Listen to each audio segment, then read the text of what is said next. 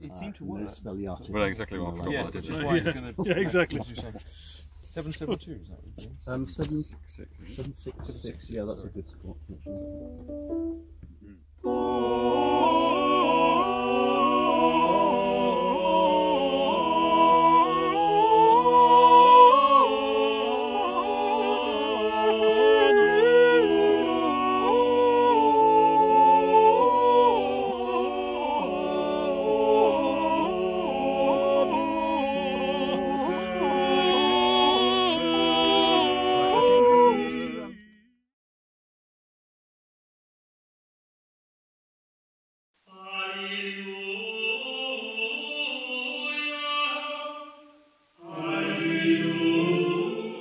Actually. The original idea of the project was to try to um, explore the concept of space and place as a dimension of performance. So we tried to use state of the art virtual reality and acoustic modeling uh, technology um, to try to reconstruct uh, the visuals and the acoustics uh, of lost performance spaces. We tried to use this uh, to then situate a full um, CD's worth of material within what is essentially a reconstruction of an acoustic uh, from a particular um, space and a particular moment in time. Virtual reality is really just a simulated environment, uh, a realistic or a fantastical world that doesn't exist anywhere but inside the simulation. What we wanted to do in this project was to give people the experience of hearing historical music, not in a modern concert hall, but in the sort of performance environments for which the music was written and which today just no longer exist. Now, it would be prohibitively expensive to build physical reconstructions of those spaces. Virtual reality, on the other hand, lets us do just that and create immersive virtual auditoria. I think it's fair to say that I didn't need much persuading to do this project. Historical projects are what we've always done. We've done a series of discs um, highlighting aspects of music's relation to late medieval alabaster. We've done um, a project on music in the Hundred Years' War.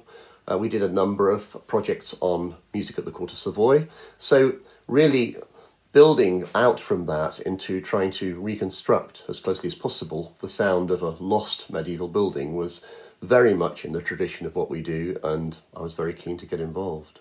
We decided to situate our recording in Linlithgow Palace, quite specifically within the chapel of Linlithgow Palace. Uh, this is a really interesting venue because it presents some uh, interesting challenges. As it currently stands, there's no ceiling, no roof. Um, it's lacking windows in their entirety. Um, so not only does it not look anything like uh, how it once did when it, it was once um, a very magnificent building. Uh, obviously, it's not really a space in which one can perform today, uh, not least because you'll get very wet. So much of the sound just escapes out of the space. Um, so we thought it was a really interesting challenge to work with um, a building that required so much reconstruction. Um, it's also a very important building. It used to be the great pleasure palace of the kings and queens of Scotland. Uh, so it was situated between um, the capital of Edinburgh um, and the more common um, home for the ro- royal family in Stirling. Um, and it was essentially where they would get away from uh, either place uh, for more relaxation. It's where they often spent the most important um, Christian feast days of the year as well, and we know that they took musicians with them. So we thought it would make uh, both an interesting challenge for the reconstruction and also quite an important venue that we know was the site for important uh, musical celebrations.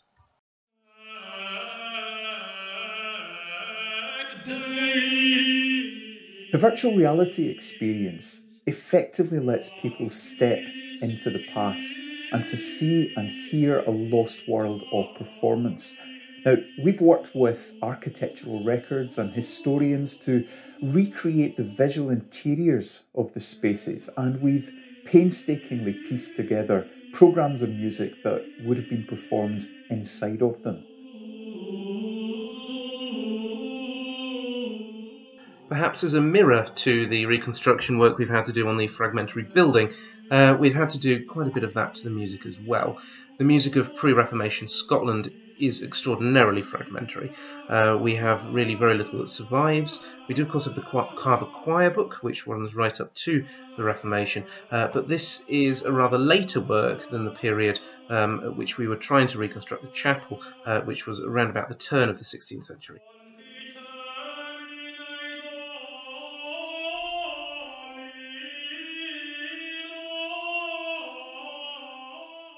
So in the end, what we did uh, was use the earliest gathering from the Carver Choir book. So that uh, consists of three mass cycles, two anonymi which bookend Dufay's famous L'homme armé Mass. Both of these anonymi are incredibly interesting works. Um, they clearly from the mid to late 15th century, um, and they've been variously described as English or continental. Uh, we're increasingly convinced that they are, in fact, both Scottish uh, for various different uh, liturgical and stylistic reasons. We've managed to identify the uh, Cantus Firmus of one of the Mass cycles, uh, and have been able to show that it's actually for St. Catherine, which is quite exciting. And it's this Mass cycle that we've decided to use as the basis for this CD.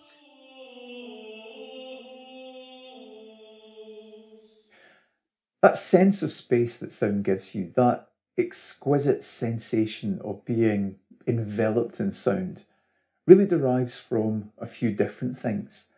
And first of all, there's the correlation between what we see and what we hear.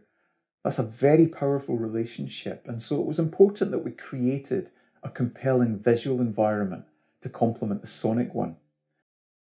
Because our ears sit at either sides of our heads, Sound reaches each ear at slightly different times and arrives with slightly different loudness. The effect is subtle, but our ears are very sensitive and they can decode that information with remarkable precision.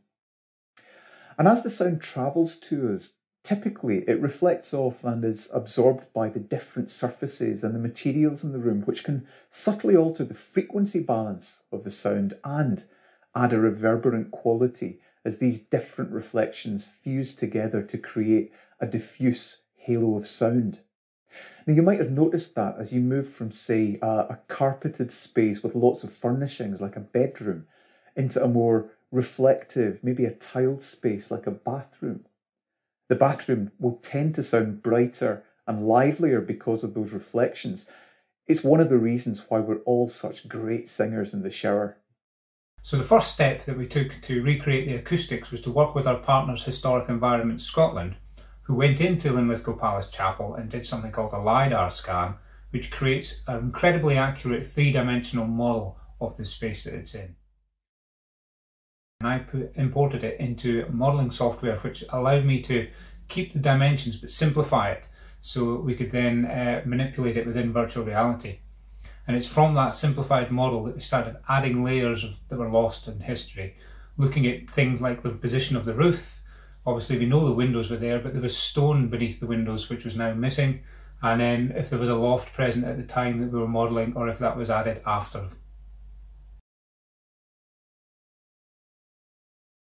Once we um, got the structure, we then had to research what objects would be present within the, the space at that time. So we worked with Historic Environment Scotland's sort of historians and their architects to try and understand what was going on in the year 1512. So we've added in a table, we've got drapes, we've got an altar, we've got thrones, there's also candles and chandeliers. So it's really looking into what sort of objects we could import in. And then once we'd researched these, we had to research the materials that the structures were uh, constructed of.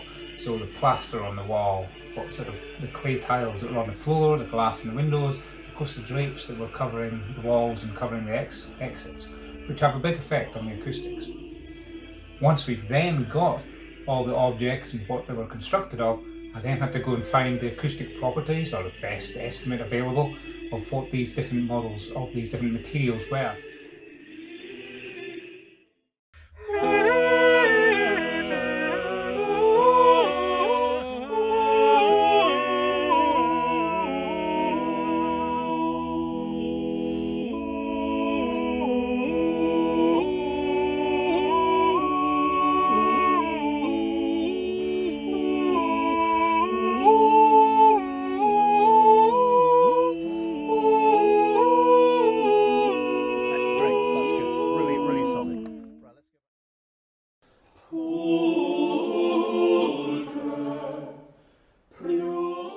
Well, it would be idle to say that um, this project didn't bring challenges that we've not been used to in prior uh, things we've done.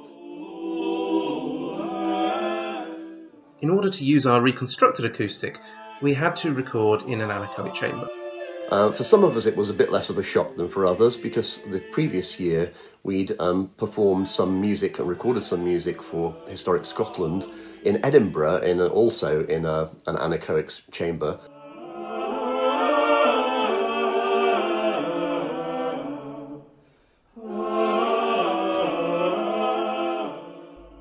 Anechoic chamber is a unique type of room and it's designed to have minimal acoustic reflections. It's got these large sound absorbing foam wedges around all walls.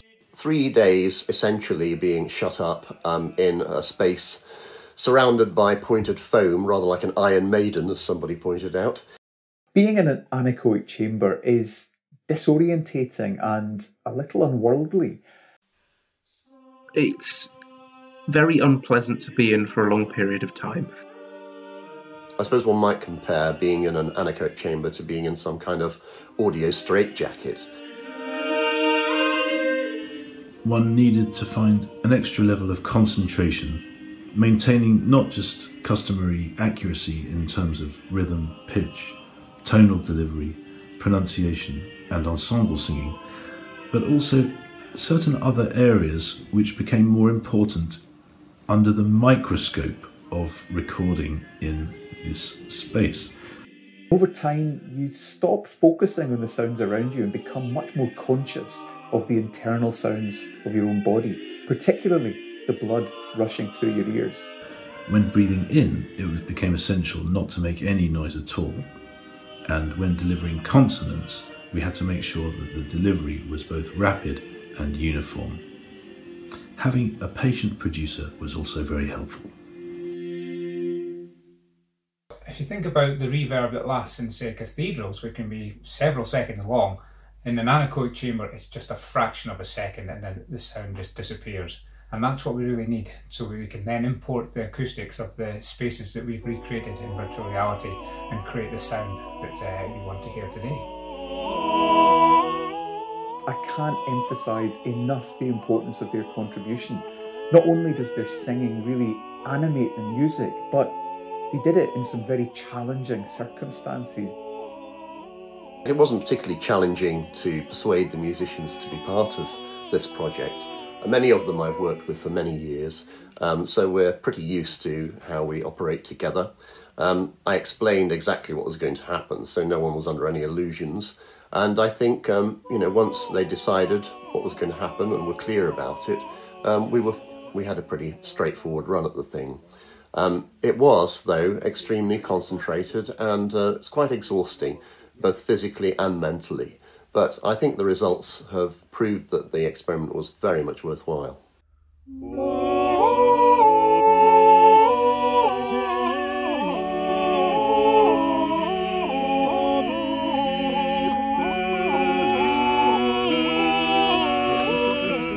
once, once through on your own for that. It's just go seven, seven, two. From here, it feels as if we're too busy. This is, I think, really about as close as you can get to musical time travel.